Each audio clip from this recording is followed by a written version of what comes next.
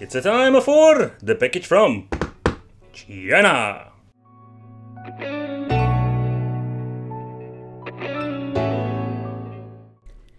Sega Dreamcast. I have some really good memories with this system. And I still play it nowadays, in 2021. And the reason why? Because I think this is not an outdated system. Like a many systems that have been forgotten, the Sega Dreamcast is obscure, but it's still a very good console nowadays to pick up and play.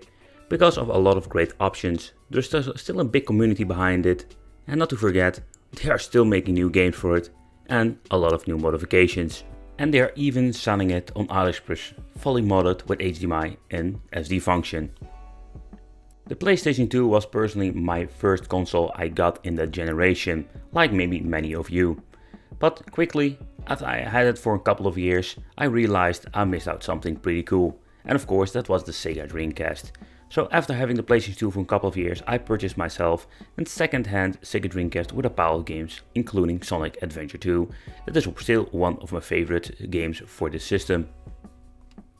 So I was searching for the Sega Dreamcast that comes with not only the GDemu for the SD card function, but I wanted to have the HDMI. And guess what? I came across this machine on AliExpress, looking at it thinking, hmm, this can be a very interesting price and console combination because you're going to get everything. So this machine is fully modded with HDMI, GDemu, also going to get the power supply mod. So in that overall, it looks quite interesting. So I just want to pick it up and we're going to do a teardown just to see what we're going to get. Okay, so let's open it up and let's take a close look at the GDemu. So the SD mod comes also including the 3D printed mod and that is pretty cool because I think that's just more like a finishing touch to it. It has an SD extension so this means you can very easily swap out the SD card. It comes with an 8GB one. Okay and the other thing is more like you have this button that you sometimes need for using the GDemu options. And then we have this extra slot so if you want to have a spare SD card you can put it in there. Okay, so let's take a close look at the back of the system. And here we're going to get two changes. Let's talk about the barrel jack at the back, because we're going to get an external power supply with this. Yep, the internal power supply has been replaced with one of the mods that is included in the system. The Sega Dreamcast also came with this brown box. And inside the box we're going to get some paperwork, like this one, that basically says how to install one of the mods. Already have been done of course, but it's still cool that they're going to give you. But the power supply. So here we're having it, this one comes also with different attachments for different regions. And the first thing I'm noticing is that this 12 volt 3 amp feels quite heavy. It looks like it's a very nice quality power supply. And all the plugs that we're going to need, depending where you're living. Ah, and for me is of course the European zone. At the back we're going to get this very tiny HDMI output, because this thing also includes the HDMI mod. And this mod, to be honest, this is the reason why I basically bought this thing. The package also includes an adapter from mini HDMI to the normal HDMI. Personally I recommend just using a cable that already has this conversion. Okay, so let's plug it in and I'm noticing that it clicks in very well, so cannot easily pull it out. Okay, so let's take a close look at the bottom part. And the first thing that I'm noticing, that we're having three extra parkers. They are using these for putting the HDMI mod in place in the case, so it can't move around. Okay, I wanted to do a quick teardown just to show you what are we going to get in the inside with the mods and not to forget how does it look. Yep, but they're not giving us a modem, so for the people who really like to have a modem with it, it doesn't include that one. So let's open it up. Okay, so this is what you're going to get when lifting up the top cover. And I must say, there are some things I'm noticing that I don't like. So it looks like that they replaced the fan, or it looks new, but it's not Noctua fan. And this thing sounds like a freaking vacuum cleaner. Another thing is what I find a little bit of a bummer, they didn't replace the battery. Because the first time I booted it up, yep, I got the date setting error. So it's just a minor upgrade, but Sadly, they didn't do it. So they are giving us the Dream PSU. It's a very common one you can pick up. You can buy them separately on AliExpress. if you want to for your own Dreamcast.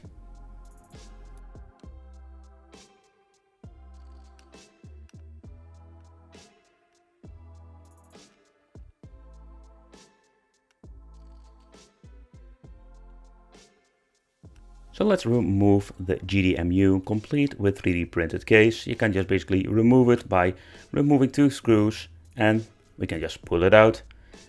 And this is the 5.5 edition. You can also buy this one separately on AliExpress if you want to.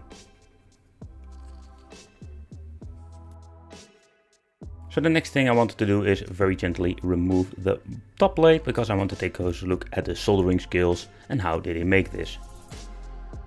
I will give them some extra wicked kudos simply because they have changed out the thermal pads. That's something more like a minor adjustment, but it can make a big difference. So in overall, this is what you're going to get in the inside. And the first thing I'm noticing that we're having an extra chip. So I didn't know that they were giving us an extra chip. They also included an extra thermal pad on the other chip over there.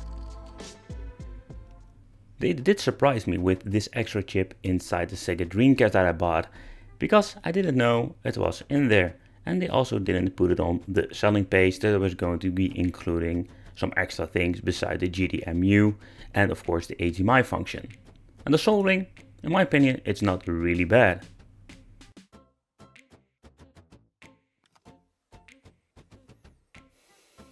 But I think the main reason I opened it up, I want to take a close look at the DC HDMI. How did they do the soldering and how does it look? So and overall, let's zoom in with the camera and let's check out how is the soldering. Okay, so I tried in to zoom in with the maximum I can do with this camera to give you a good idea. Of course, best thing is the microscope, but I don't have this, so I do it with the best thing I'm having here. And in my opinion, again, the soldering is not really bad. So at the right side we're going to get the Wi-Fi antenna because the HDMI function has Wi-Fi capabilities. But in overall I am very pleased of the result and what we're going to get with this Dreamcast with HDMI functionalities. Especially when you're looking at the price, it's a pretty good deal and it's a very nice job. The only thing I can complain about is more like the backup battery. More like this minor thing, why didn't they do this?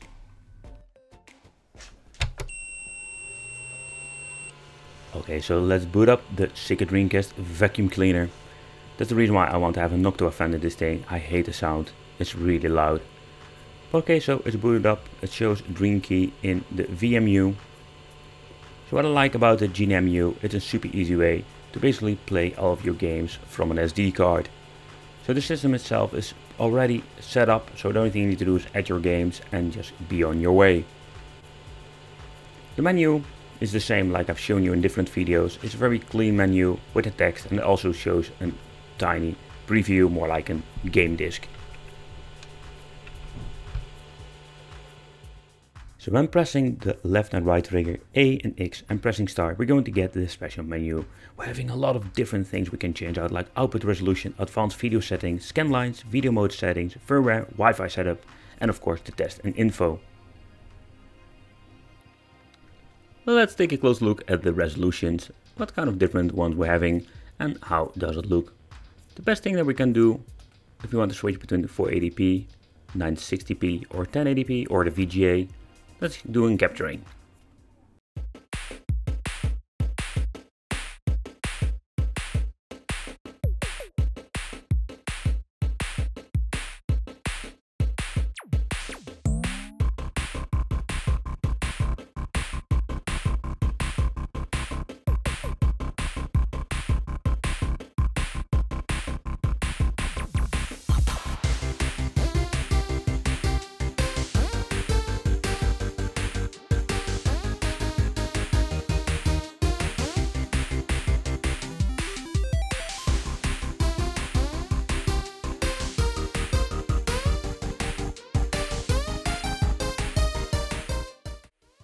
When I take a close look at the menu, we're having so many options like advanced video settings, deinterlacing 480i, deinterlacing 576i.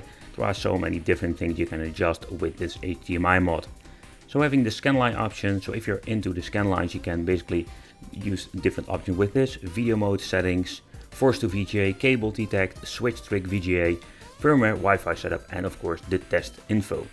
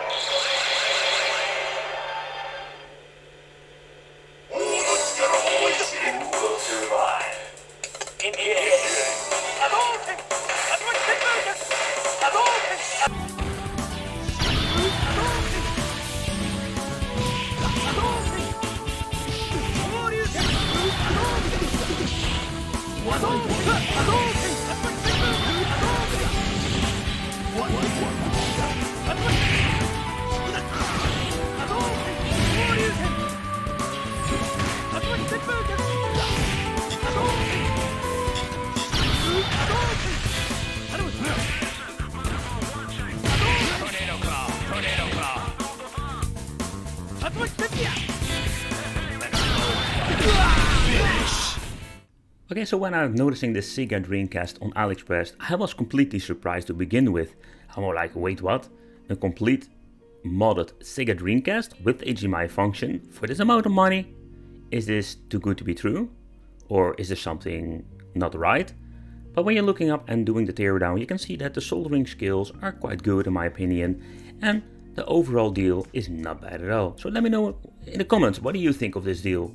It's fully modded, HDMI on it, you have HDMI and an SD mod, uh, the power supply mod, sadly of the battery, but that's more like something maybe change out myself, or maybe they will do it in the next batch. I want to thank you for watching, consider subscribing, become on the Wicked family, and hit that little bell, and I will see you in the next video.